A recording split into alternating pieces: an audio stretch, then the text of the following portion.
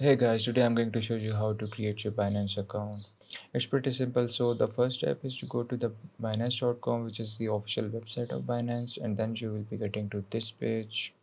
Once you are here, you can click on this sign up or you can click on register now on top right where it says register.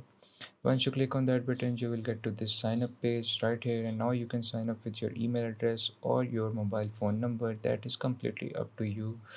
Now here I'm going to use my email address to create my Binance account.